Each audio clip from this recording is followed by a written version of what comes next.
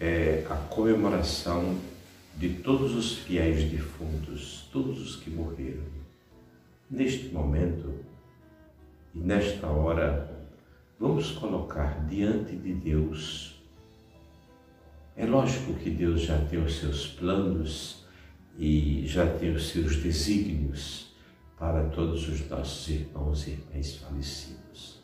Mas vamos com muita humildade colocar diante de Deus todas as vítimas desta Covid-19, que é o vírus que provoca esta nossa pandemia que estamos vivendo.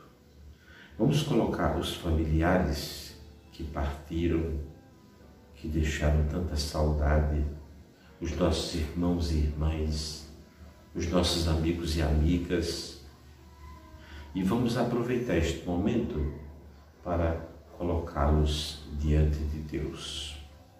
Não vamos nos esquecer, evidentemente, de todos os profissionais da saúde, quantos médicos e médicas, quantos enfermeiros e enfermeiras, quanta gente que trabalha na linha de frente que perdeu a vida.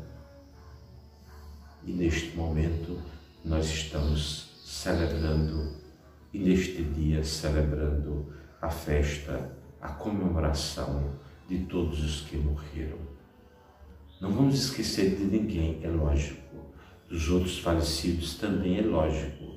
Mas desse dia vamos fazer esta nossa esta nossa oração, esta nossa prece e vamos aproveitar este momento da minha visita ao seu lar a sua igreja doméstica, vamos fazer um silêncio e este silêncio é em homenagem a todos os que perderam a vida vítimas da Covid-19.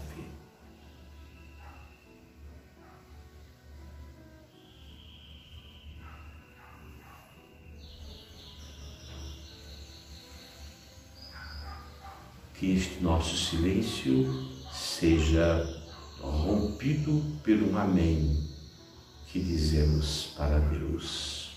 Amém. Graça, honra, glória, tudo para o Deus da vida.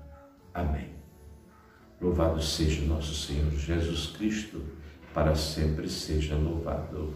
Abençoe-vos o Deus Todo-Poderoso, Pai